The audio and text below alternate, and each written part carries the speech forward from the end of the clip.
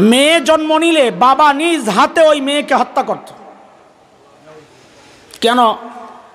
যে এটা সামাজিক কলঙ্ক যে সে মেয়ের বাবা, এটা সইতে পারবে না। তার চেয়ে মেরে ফেলো। উদাহরণ হিসাবে ছোট্ট একটা ঘটনা শোনায় আপনাদেরকে। আল্লাহর নবীর সাহাবি হজরত দাহিয়া কেলবি রদি আল্লাহ আন নবী আলী ইসলামের কাছে এসে কান্না করতেছেন। কেন কাঁদছ? বলে রসুল আল্লাহ আল্লাহ আমাকে মাফ করবেন না। নবী আলী ইসলাম সুসংবাদ শোনালেন, ইসলাম এত বড় নিয়ামত। এই নিয়ামত যে গ্রহণ করে আল্লাহ, এই নিয়ামতের ওসিলায় তার পেছনের সমস্ত গুণা মাফ করে দেন। হজরত দাহিয়া কালবি তাও কাঁদছেন। কেন? যে, ইয়া রসুল আল্লাহ আমার একটা গুণা বড় ভয়ঙ্কর, আল্লাহ আমাকে ছাড়বে। কি করছ? তো হজরত দাহিয়া কালবি কাঁদছেন আর ঘটনার বর্ণনা দিচ্ছেন। ইয়া রসুল আল্লাহ আমার স্ত্রী, সন্তান সম্ভবা, পেটে বাচ্চা। আমি দূর সফরে যাব। স্ত্রীকে বলে গেলাম, পেটের মধ্যে যে বাচ্চা, তখন তার টেস্টের সুযোগ ছিল না, ব্যবস্থা ছিল না। বলে গেলাম, বাচ্চা যদি হয়, মেয়ে খবরদার, এ মেয়েকে রাখবা না, তাকে নিজ হাতে হত্যা করবা। আমি ওসিয়ত করে গেলাম। আমি চলে গেছি। এদিক দেওয়া ঘটনা হচ্ছে, কিছুদিন পর যখন স্ত্রীর গর্ভে বাচ্চা ভূমিষ্ঠ হয়, যখন মা তো মা, আহারে মার কলিজায় আল্লাহ কত মায়া দিচ্ছেন এটা মা ছাড়া কে বুঝবে? বাচ্চাটাও হয়েছে চমৎকার ফুটফুটে, ছটপটে ফুটফুটে। মার কলিজায় আর মানায় নাই যে এই বাচ্চাকে হত্যা করবে। এত সুন্দর হয়েছে বাচ্চাটা, নামও রাখছে সুন্দরী। কি নাম? আরবিতে আসেনি কি সুন্দরী? জামিলা জামিলা। কি নাম? জামিলা মানে সুন্দরী। নামও রাখছে জামিলা। মা, বাচ্চাটা একটু একটু বড় হচ্ছে। মা ওই বাচ্চাকে ট্রেনিং দিচ্ছে যে বাবাকে কীভাবে ম্যানেজ করতে হবে। বাবা সফর থেকে ফেরত আসলে যেন বাবাকে সে পাগল করতে পারে। আহ্লাদ শেখাচ্ছে, মেয়েরা এমনি একটু আহ্লাদই হয় বাবার সাথে। মেয়েরা বাবার সাথে একটু আহ্লাদ বেশি করে। ওটাকে আরও ট্রেনিং দেওয়া হয়েছে যে বাবা আসলে কীভাবে বাবার কোলে চড়ে বসতে হবে, বাবাকে কীভাবে চুমু খেতে হবে, আব্বু আব্বু বলে চিৎকার করতে হবে। তো বাবার কলিজায় মায়া লাগবে, বাবা আর তাকে হত্যা করবে না। এইভাবে বাচ্চাটা ট্রেনিং পাচ্ছে, বড় হচ্ছে। চার বছর পর হজরত দাহিয়ে কেলবি বলেন, আমি চার বছর পর যখন ঘরে ফিরি, ওই বাচ্চা ট্রেনিং মতো দৌড়াইয়া এসে আমাকে জড়াইয়া ধরে, আব্বু আব্বু বলে আমার কোলে চড়ে বসতেছে।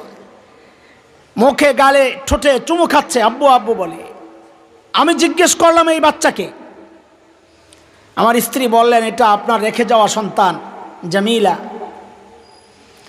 তো আমি স্ত্রীকে ধমকালাম যে আমি তো তোমাকে বলে গেছিলাম এই বাচ্চাকে হত্যা করার জন্যে বাচ্চাটাকে হত্যা কেন করলা না? জামিলার মা বলে, এত সুন্দর বাচ্চাকে কীভাবে হত্যা করব? আমার মন মানে নাই, আমি পারি নাই। হজরত দাহিয়া কালবি কাঁদছেন আর বলছেন, ইয়া রসুল আল্লাহ আমারও মনে মনে একটু মায়া লাগতেছিল। কিন্তু মাথার মধ্যে ঢুকে আছে, মেয়ের বাবার কলঙ্ক সমাজে কীভাবে মুখ দেখাবো? রাতে ঘুম নাই আমার, অস্থির, কি করব। একদিকে সমাজের কলঙ্কের ভয়, একদিকে বাবা এর মায়া, ভালোবাসা। রাতে সিদ্ধান্ত নিলাম যে না, আজীবন এই কলঙ্কের বোঝা মাথায় নিয়ে আমি থাকতে পারব না, আমি এই বাচ্চাকে হত্যা করব। সকালে বিবিকে বললাম, জামিলাকে একটু সাজায়া দাও। বলে, কেন? বলে, বেড়াইতে নিয়ে যাব। তো মা খুশি, যাক বাবার দিলের মধ্যে মায়া ঢুকছে। সকালে সুন্দর করে জামিলাকে সাজায়া দিয়ে দিছে বাবার সাথে, যাও, বাবার সাথে বেড়াতে যাও। দূরে মরুভূমিতে নিয়ে গেছে। হজরত দাহিয়া কেলবি বলেন আর রসুল আল্লাহ আমি গর্ত খুঁজতেছিলাম। জামিলা এসে জিজ্ঞেস করে, বাবা, কেন খুঁজছ এই গর্ত?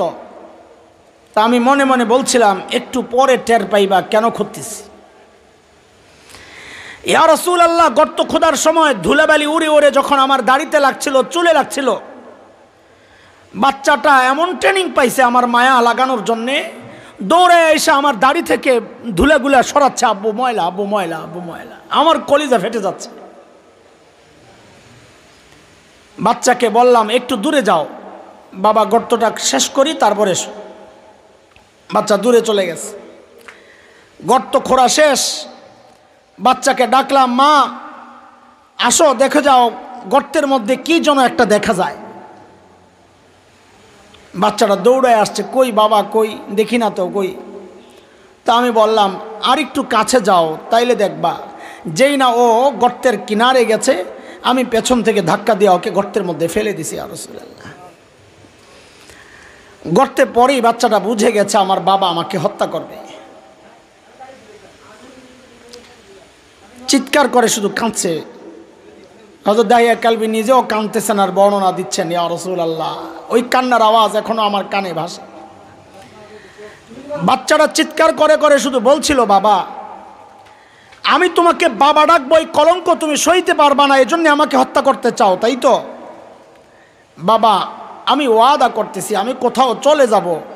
কোনোদিন তোমাকে বাবা বলে ডাকবো না, তাও তুমি আমাকে হত্যা করো না। ইয়া রসুল আল্লাহ সে চিৎকার করতেছে, আমি মাটি দিচ্ছি।